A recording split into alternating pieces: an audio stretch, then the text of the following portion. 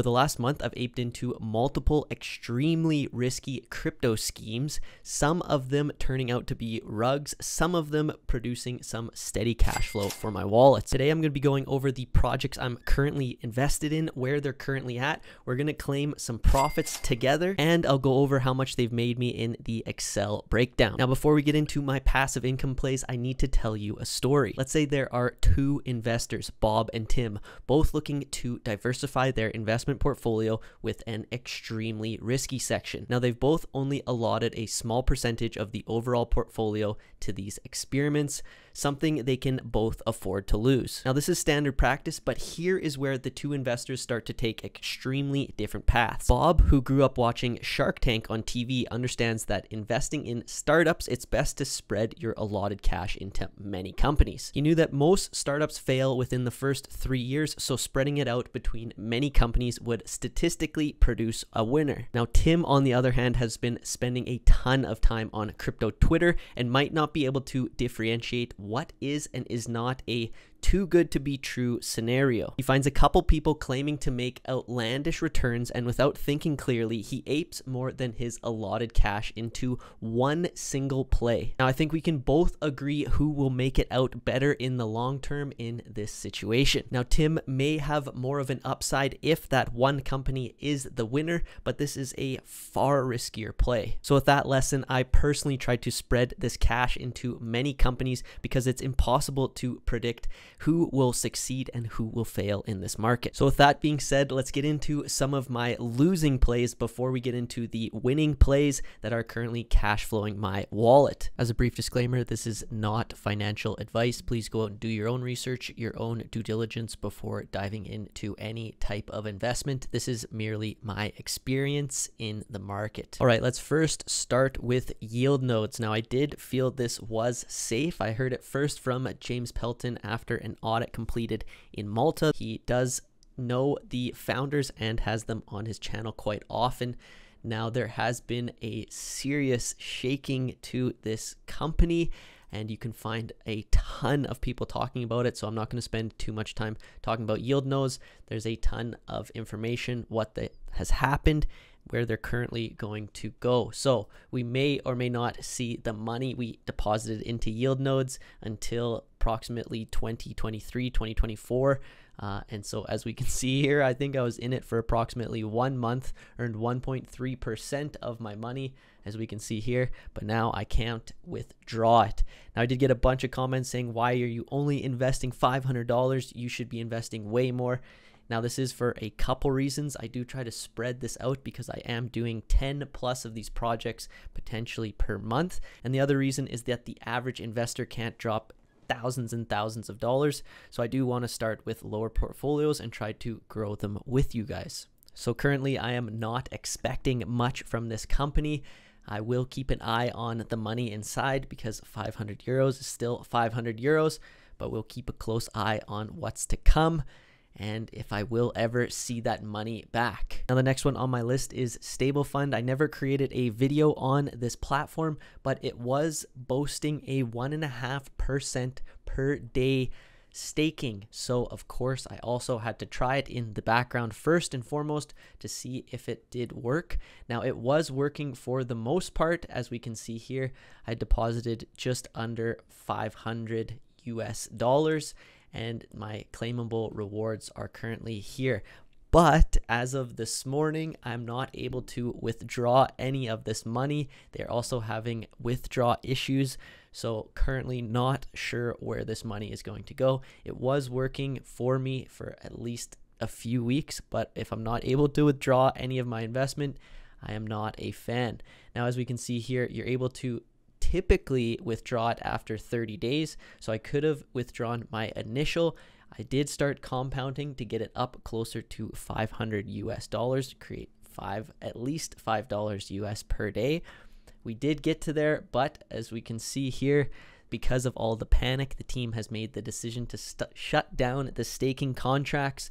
So it says they'll start refunding people on the 31st of October, and they're getting all their data to start these refunds we will see if this works or not. Now, moving along, I never invested in Freeway, but I do want to give you guys a disclaimer. It came out as I am filming this today. The crypto staking platform Freeway halts withdrawals as well basically plummeting the stock price as we can see here. Token is down roughly 80% in the hours after this announcement. Now, they did claim it had 160 million in total value. All right, so next on my list that has been working currently is Horde. All right, so next down my portfolio is Horde. It is currently still working. The price has stayed at approximately $100 and it is returning me. But there is a huge but. The company came out with a huge change in some of these rewards. So as we can see on the website here, the mutation is active if we want to learn more here. But if you claim anything, it will become mutated. Now mutated plots only earn 0.5% daily until the full reward is given, not that 1%. So this is irreversible and you cannot change this after you do withdraw some of your money. Now, although I do like this 1% per day, I am going to make a claim today because of what we've seen previously in this video.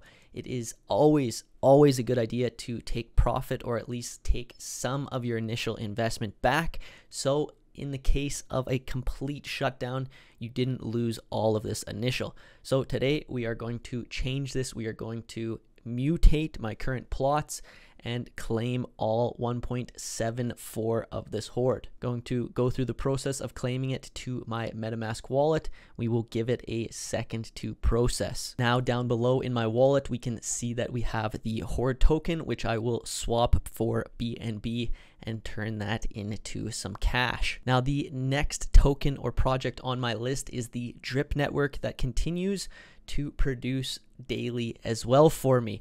Now, the project has continued to slowly tank, slowly go down, but there is still some drip reward inside my account here. So I've currently deposited just under a 100 drip which is worth just under 500 USDT, but available. I have 27 to claim.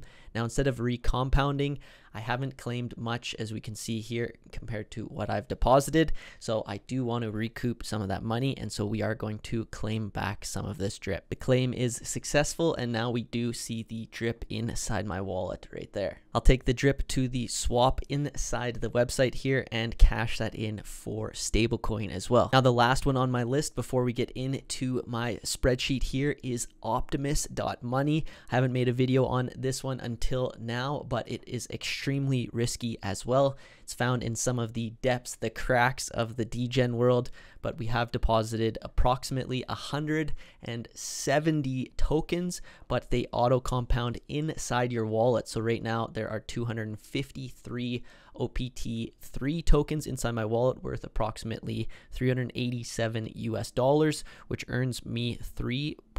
87 US dollars per day and approximately 88 of them per month. Now you can check on the contract as well as it is on Dex Screener. Now they do have an auto buyback bot which has decided to keep it inside this trading zone, which is great to see.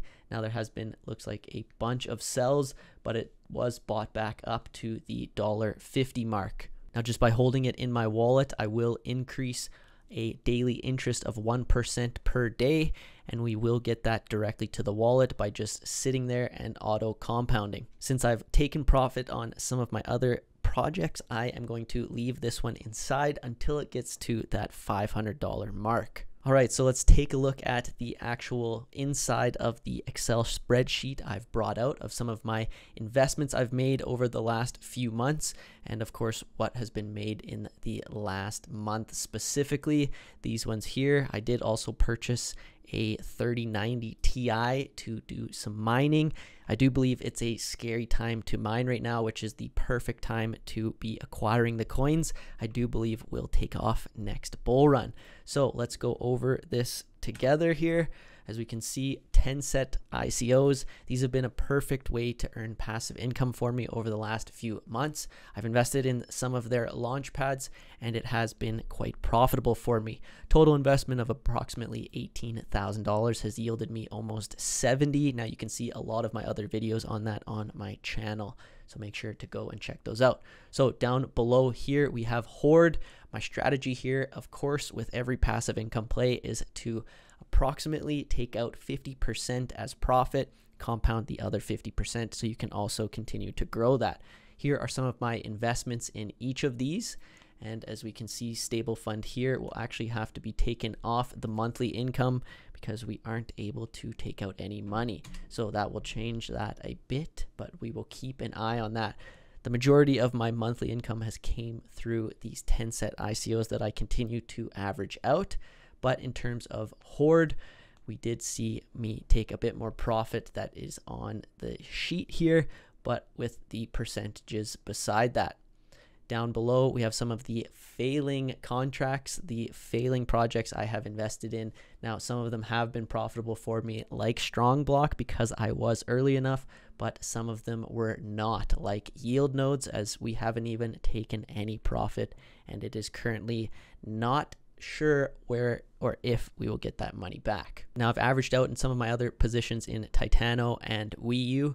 Now, of course, we can see all of this here with the majority coming from Tenset, but over the last 30 days, approximately making $4,000 in this passive income from some of these investments. Now, if you guys are interested in this investment journey, make sure to hit that like button, subscribe to the channel if you aren't already. Until next time, guys, take care.